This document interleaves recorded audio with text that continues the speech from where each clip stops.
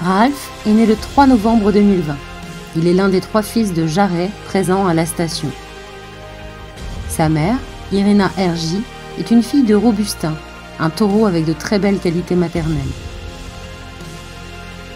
Ralph est très puissant. Il possède une très belle rectitude de dos et un arrondi et une largeur de culotte bien prononcée, ainsi qu'un aloyau très bien dessiné.